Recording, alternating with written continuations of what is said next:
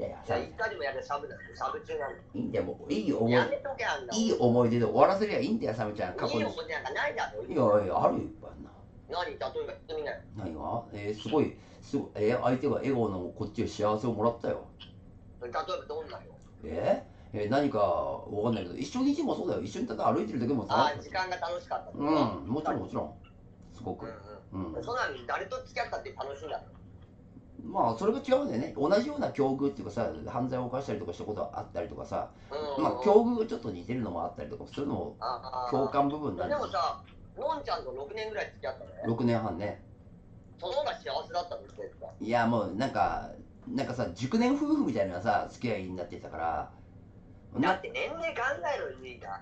いやそうだけどでもだんだんとねその長い間付き合っていく中で思ったのはだんだんとねそのね自分の放送まで口出すようになってきたのよあの人は。ただ俺は。俺はそれが嫌だったんだよね。こういうことはやるなああいうことやるなとか口出すようになってきて。だからでもそれはさ、多分ユンガのためも思って言ったんじゃない？いやいや俺は俺の放送だもん。放送は悪いや、魔だもんそれはそうなんだけど、うん。でも、ねやっぱりそこで手綱を握んないと、いやでもそそれであいつが。あいつが仲いい人間だけ優先にするみたいなさなんかそういうのがあんのよあいつの中に。ああ、なるほどね。まあいろいろ。でもお前今、リカピンの、リカピンにも今ラジコンになってる。なってないよ放送に関してなはってんじゃなってないなってない。ん。なってるよ。なってないよ。ラジコいや、分かってるよ。お前が、うん。あの、昔の、うん。あの、要するにあの、12歳との事件を、うん。あの認めたのはリカピンのラジコンだろ？違う。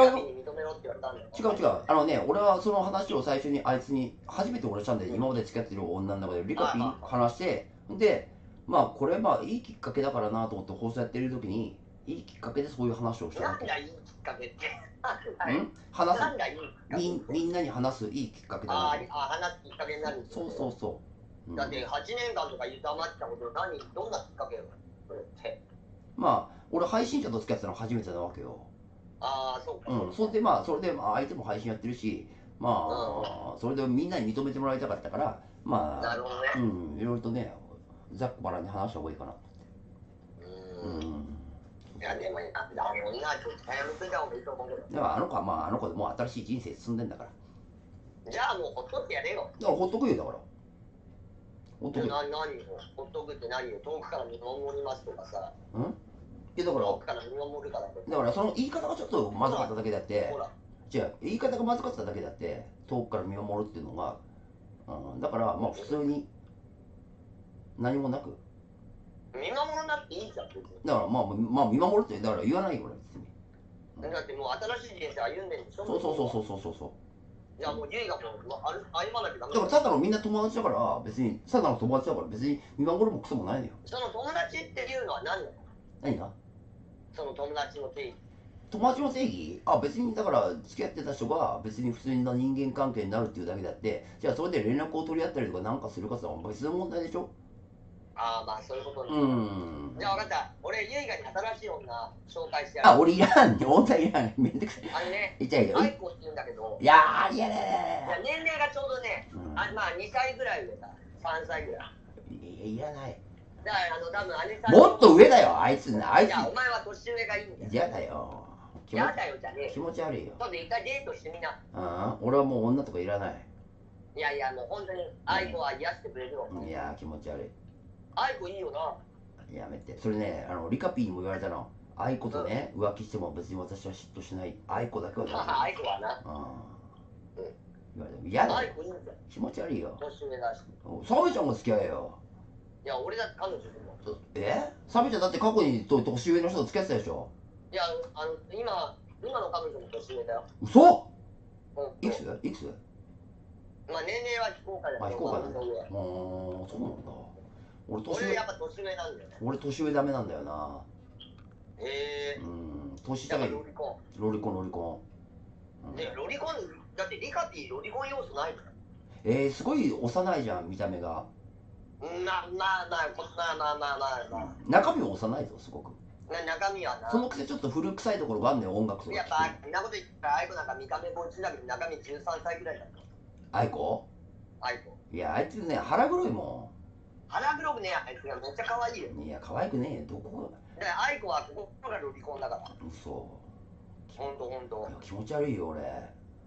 え？俺愛子のマンコとか舐めれねえもん絶対に。いやねいや意外とアイコフェラチオマニいやどうでもいいわそんなのなんで？本当にそんなの。うなちゃんマンがフェラチオの変わんねえだろ。そんなもん愛子愛いや子目つぶればめ目なんでなんで俺俺そんなさ罰ゲームみたいなこと受けなくちゃいけないいやいやいや罰ゲーム。ちょっと待ってゆいが。多分向こう目線も罰ゲームだと思う。よあー。え俺でもモテんもん。いや何？何？もう次いるの？いやいないけど作る気もないしいないけどでもだから。自分が彼女いる時でさえいろんなさリ女性リスナーとか声かけてくるわけだからモテんじゃないかなと思うよ俺。そうだよなお前な去年の結婚過ぎの時な俺にななんかドヤ顔でさのんちゃんと結婚するわとか言ってさその数ヶ月後にお前リカピとあれ浮気してる。浮気じゃないから。本気だ浮気じゃねえかお前。本気だからなんかねもう配信引退するわ俺とか言うから。えなんで？って言ったらいやのんちゃん金持ちだから玉残しみたいで仕事もなんか世話してくれるしとかなんか俺に偉そうなこと言ってさうん。その12ヶ月でさうん。お前リカピと年頃になってんだろ？ねこれなってない。ちょかぶってるけどかぶってるけど付き合ってる時はでももうのんちゃんに別れ話を出してってる時に俺ああだってお前はだからそういうとこだらしないそうなんかそれってさのんちゃんに対して失礼じゃん。うん？いやで失礼だけど俺はね6番っていう人とふわっちの6番っていう人がいたんだけああったねあったど、うん。ね、、あれ浮気したりとかしてももう別れたくてそうそうやってやったんだけど。で別れてからやねでね別れなかったんだよ。難しいんだぞ長い間付き合ってる人間と別れるって。えー、それを別れたくないって言うから嫌だって言ういやだから俺は別れたいってで俺は言ったけどそれができなかったんだって。でできないから浮気するのえ？ちょっと待ってそれをきっかけにきっかけに嫌になってもらえばなと思ってたんだけど。いや違うじゃんそれは。でも結果まあそのリカピーと付き合ったことによってまあリカピーとはその時出してなかったけど別れられたんだよのんちゃんとは。でもリカピーともうまくいかなかったしうん、うん、結局2頭思うのは1頭も個別なんだよ。でもでもその幸せの人生を歩歩むね幸せにしたかったけど自分ができなかった。でもし他の人と幸せになるってことを考えれば俺は目的を達成したんだよああ、うん。あいつが幸せになる別れるっていう意味では？わ別れてあいつがしね次の人生に進んだわけだから。うん。で幸せそうにやってるわけだから俺の目的は達成したよ、だけどさうん。なんでよりによってリカピーなんだよ？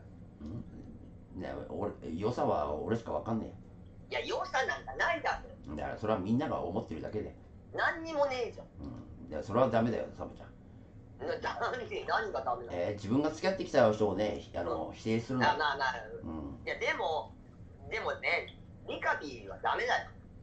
うん。みんな言ってんじゃん近藤組長も言ったし。みんな言ってるじゃん。うん。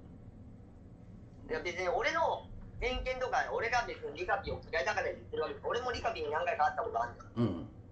でもうタバコも買ってくれたりして。うん。嘘あごめんなさいタバコ買ってくれたの？